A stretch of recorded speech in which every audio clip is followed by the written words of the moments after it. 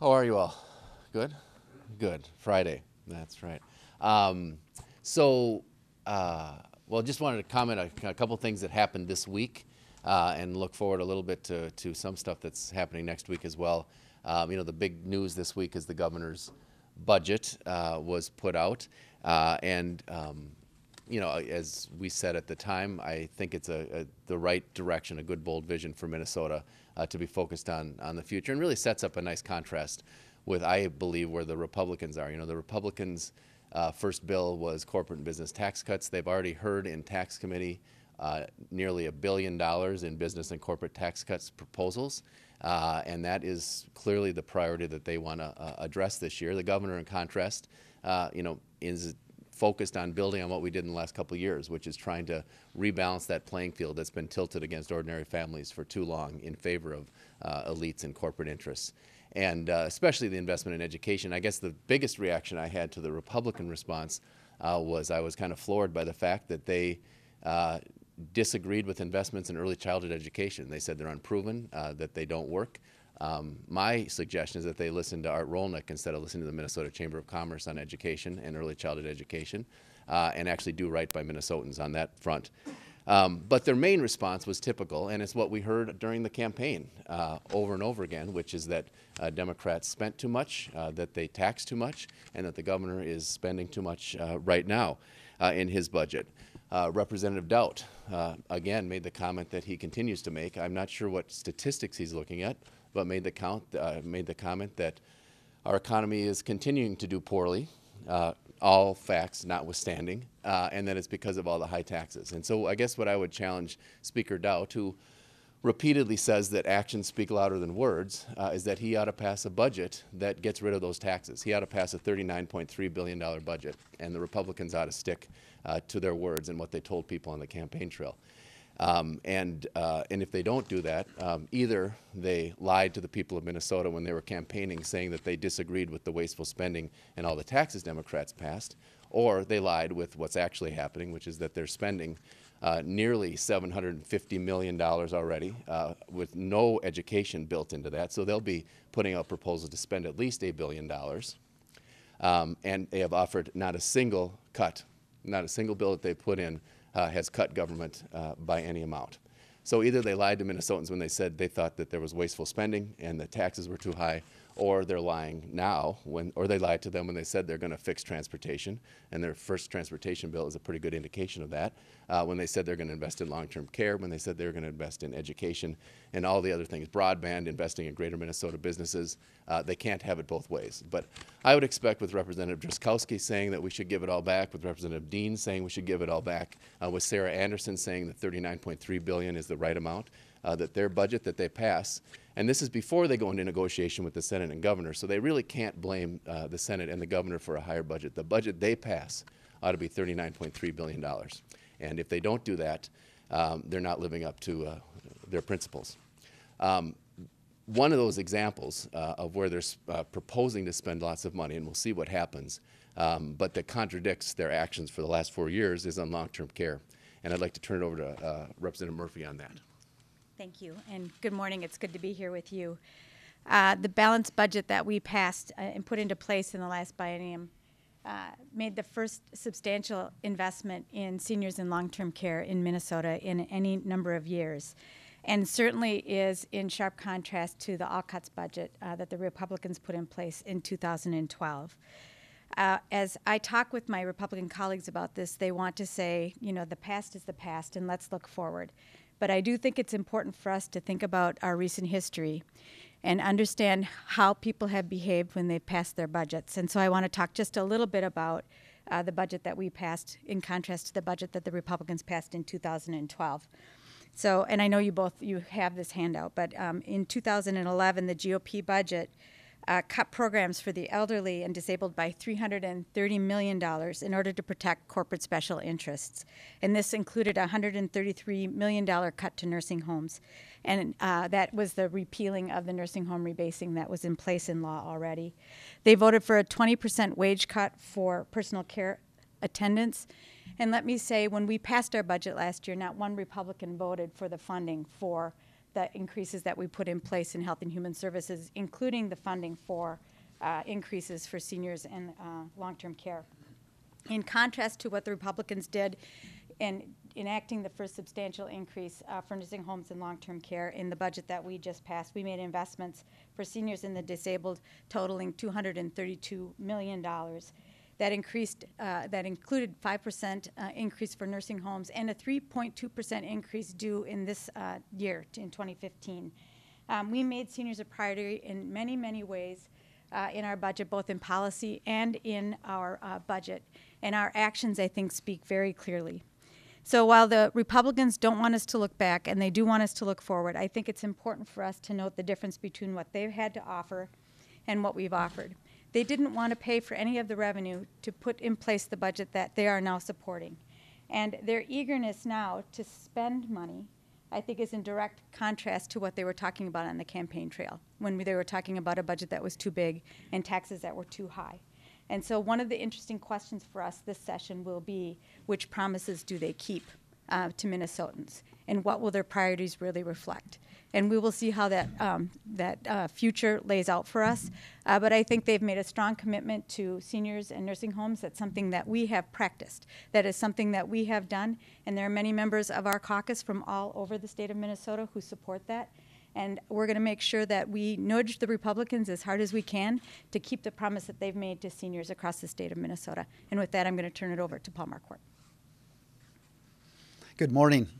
Uh, in rural Minnesota, our nursing homes not only provide important healthcare services for our seniors, but in many cases, our nursing homes are our largest employers in our communities. And I want to use one example here. Uh, just a little over a year ago, Good Samaritan Nursing Home in Hoffman, Minnesota, it's a city of about 700 just west of Alexandria, had to close. And the administrator was talking about why they needed to close. And while they had the capacity to have 54 residents, because they could not find the staffing, they could not pay the staffing, they could only have uh, 27 residents, only half of what their capacity was. And what he went on to say is that at $10 an hour, he said he could not attract the workers that he needed. And then he said, and we haven't been able to provide a raise for five years. And Representative Murphy alluded to those five years when things were frozen. And in the last biennium, Governor Dayton, the DFL led majorities, despite having a $627 million deficit, said, We are going to make this a commitment and put into our nursing homes, into our home and community based services $230 million despite a budget deficit.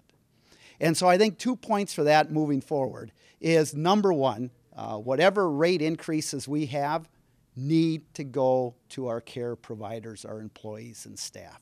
Those dollars have to go there. That's where the difference is going to be made.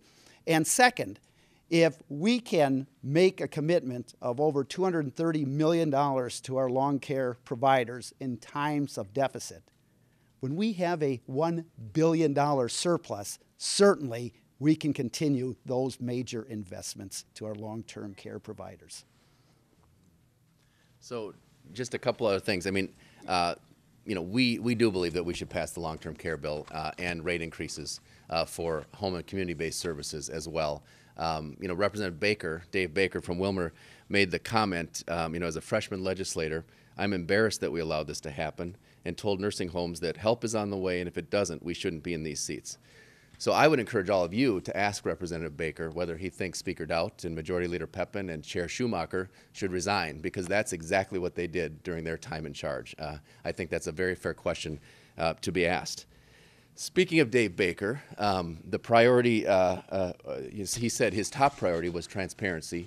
Uh, but again, on the floor yesterday, if you noticed, he refused um, to encourage his, uh, his chair of elections and government operations, Chair Sanders, and Chair Sanders refused uh, to hear uh, Ryan Winkler's bill on, on transparency and making sure that the independent expenditures that um, we saw so so significant and so heavily in the last election are at least disclosed, so you uh, and we and all the people in Minnesota can see who's actually spending that money. Uh, that's disappointing. That again, Dave Baker's top priority. He's not willing to stand up to what he said on the on the campaign trail. And the last thing I guess I would just note, speaking of transparency, um, Representative Drazkowski and uh, Roz Peterson continue to dig their hole a little bit deeper and deeper on these property tax hearings. Um, they had a meeting last uh, earlier this week uh, in Burnsville. Uh, you know, they there was chairs available, plenty of space available on the evening, uh, and Representative Drazkowski uh, said, well, he kicked out a, a, a camera person, or someone who wanted to record the public meeting, saying it was a private meeting. So there was space available. Representative Drazkowski said it was a private meeting that night, uh, and Roz Peterson backed him up. The next day, he told reporters, in fact, that it was a public meeting contradicting what he said the night before, and that there was no space available, which was false. And I don't know kind of which is worse, uh, whether the fact that they continue to want to uh, hide these property tax hearings, uh, or whether not telling the truth, uh, which is, seems to be the MO that's going on with this, um, with Representative Drazkowski's property tax hearings uh, across the state. Um, but uh, if the if the key for this legislature, as Rep- Speaker Daudt and everybody else has said, is we want transparency and openness. Um, Representative Drazkowski's and Roz Peterson's actions certainly aren't moving in that direction. Uh, Representative McNamara, who wants to make um, the Lessard Sams committees private instead of public, uh, is not going in that direction. Uh, we're seeing kind of, again, saying one thing and doing another. And uh, I think uh, it's a, actually an interesting story that's going to probably play out for the rest of the session here. And with that, we're happy to answer any questions people might have. Do you think anything's going to happen on the minimum wage this session? The chamber said they were interested in getting rid of the inflator. Are you guys hearing anything on that? I- I haven't heard that except from the chamber, and I, I don't think that will happen. I don't think Governor Dayton's going to allow that to happen. Uh, Governor's big transportation proposal came out earlier this week. Um, The, the, the perceived need that everyone is talking ar- about around here, advocates, came from the TFAC report, which uh, came out uh, around the time you guys uh, took the majority. Something I've been hearing a lot from Republicans, asking them about Governor Dayton's proposal as well. If this was such a big problem, why didn't the, the DFL do it in the last two years when they had total control? What, uh, any thoughts on that? Sure, uh, we've always said all along that this needs to be a bipartisan effort, which is what, um, which is how we've always handled transportation issues uh, in Minnesota. And we are saying again this year that this will be a bipartisan effort, and we're willing to put up uh, for a package that is comprehensive, that is long-term, uh, that deals with the statewide issues, that includes transit as well as roads and bridges. Uh, we're willing to put up our proportionate share of the votes, just like we asked them to do last year. Uh, so we're actually willing to step up to the table this year, as we were last year, as the Republicans have never been able to, willing to step up to the table to solve the problem. So you asked them last year i- i- you- uh, if they would put up enough votes to pass something in, in the House, is that? Yeah, and they, well, it was very clear that they were going to refuse to do that. How do, uh, uh, the governor's rec- budget recommendations included a series of uh, tax tweaks and changes. Um, How does it compare to previous tax proposals for his last two budgets? Um, Or, uh, how would you characterize it? Well, I think that the, the biggest piece of his, of his proposal uh, makes, uh, makes good sense um, in terms of the, the tax credit for, for um, childcare, uh, for caregiving, I guess is what it is. Uh, I think that's exactly the right priority as opposed to the corporate tax cuts. Um, I think that, um, well, I think I'm going to let Representative Marquart talk a little bit about the property tax piece of it as well, because I think that there is some relief in there that people aren't talking about yet. Yeah, absolutely. Uh, Of course, the governor put out the transportation plan on Monday. And we know that actually the largest source of dollars that go to roads and highways and bridges from our local units of governments, our counties, cities, and townships, actually come from property taxes. And so the fact that the governor has $2.3 billion of tra- new transportation funding to our counties, cities, and township are really going to relieve a lot of pressures on property taxes. There was a study done not so long ago where you looked at what's called own source revenue, and that's when you take away all the highway funding, all of that, what is left for counties and local governments to spend their property tax dollars on. The largest single factor was property taxes, which is actually more revenue towards roads than the gas tax or the license tab fee or the market value or the uh, motor vehicle sales tax. So the governor, uh, while not directly in his budget proposal, has a lot of relief on the property taxes for local units of government in his transportation bill. Wondering what uh, you guys are hearing, uh, it's been uh, about almost a week since the governor rolled out his proposal, uh, details of it have been circulating since longer than that. Wondering what you've been hearing from constituents uh, as a reaction to it. Not so much the, the spending side, I'm sure you've heard people talk about the need to, to fix roads, but uh, the particular ways that the, the governor is, uh, is proposing to raise that money. What are you hearing on, on the, the gas tax and, uh, and other areas? transportation bill. Yeah. Yeah, well, I mean, I think, I think what people appreciate is that the governor is actually, has actually come up with a realistic plan that addresses the problem long-term.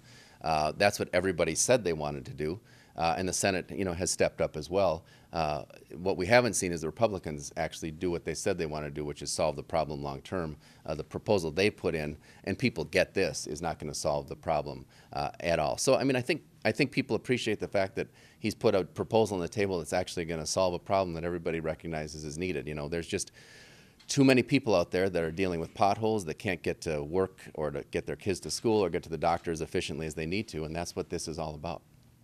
Senator Bakk said yesterday that, um, in his mind, if, the- if a long-term transportation package isn't passed this year, that they won't be able to do it until at least 2017.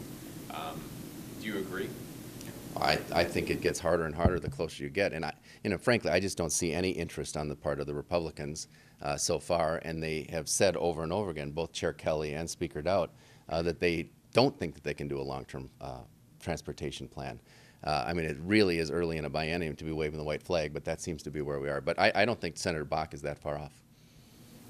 There seems to be some disagreement about the number. Um, Republicans say they still need to explore how big the problem is in terms of transportation. I guess, do you guys think that there's room for negotiation there, or do you see it as big as Dayton's and the Democrats say? Well, you know, uh, Speaker Daudt makes a big deal of the fact that he's been here for four years and he thinks that's a huge advantage. Uh, sometimes that's not an advantage because people have studied this problem for a long time. Experts outside the capital, private sector experts. You know, I, I don't know what Tim Kelly and Kurt Daudt are going to, what they're going to bring to the table to figure this out more than these experts that have studied the problem for several years. So I think the $6 billion number is, is in the ballpark, in the right range. And, um, you know, again, instead of listening to the experts who actually know something, they're listening to the Chamber of Commerce. Not surprisingly, but that's, that doesn't make any sense to me. And I also would say that, uh, Here, step you know, back. I don't know what they were doing all summer and fall, um, if they're not able to put their hands around the issue, because anywhere that I went, Minnesotans were talking about transportation in their communities, on their highways, um, from a work perspective and from a family perspective. So, to me, it is clear that we have a, a statewide issue that we need to wrestle with and resolve, and it's going to take a revenue source and some um, bold leadership. And I, I, I see that coming from the governor, but I'm not, I'm not seeing that yet come from the Republicans. It's easy to see that in order to, you know, bridge this big divide between Republicans and Democrats, that, you know, one, if not the only possibility to do that this session is kind of a grand bargain. Is there anything that, uh, that Democrats did in the past two years that you might be willing to do away with in order to get the revenue to, you know, pass a long-term transportation package? No one has suggested any particular grand bargain to me. Uh, and, um, you know, and I, I think the, I mean, the, the reality is the investments we made, I think, are very popular. All-day kindergarten and the education investments was more than 80%. Uh, and if you count higher ed, probably more than 85 or 90% of the new, 85% probably the new investments that we made. Uh, I don't see anybody wanting to go back on those investments. And so I'm not sure what, uh, I'm not sure what that piece of the grand bargain would be. What's become of the deficiency funding bill that I thought was, the governor said was important to pass? My- My understanding is that it's, it's, uh, it's uh, now moved through the two committees, will probably be in Ways and Means at some time uh, soon. I, but, I- you know, I think that there is an urgency to get this done. There's, um, uh, and, and uh, there is an urgency to get it done. I mean, it's, it's public safety at St. Peter, it's public safety around the uh, Ebola issues. Uh, You know, these are things that people want to go. It's, it's funding for seniors. Um, We need to get this done. I- I'm not sure what the lack of urgency on the side, on the part of the uh, Republicans, you know, or the f- Senate, frankly, uh, is, but uh, we agree with the governor that we need to move it as quickly as possible. On the uh, transparency problems that you brought up earlier with the uh, property tax listening sessions, uh, are you guys planning any action on that, or are you just sort of highlighting it to uh, avoid any situations like that in the future? Well, I hope that we can avoid any situations in the future. I mean, it's just striking to me, kind of uh, a as a pattern, and b that the story keeps changing. You know, and um, uh, you know if they don't want, you know, if Roz Peterson doesn't want her public these meetings to be public, if she wants to kind of just have her supporters in the room, she should tell people that instead of announcing it as a public meeting. Uh, you know, I think there's another one up in Anoka tomorrow. Uh, the new member, I've never met her actually, Whelan, uh, has one up, uh, Representative Whelan has one in Anoka tomorrow with Representative Drazkowski. Uh, and it sounds like, in fact, that they are going to allow uh, it to be an open and public meeting and that anybody who wants to attend, attend. So I hope that that's what happens in the future. All right. Thank you. Thank you.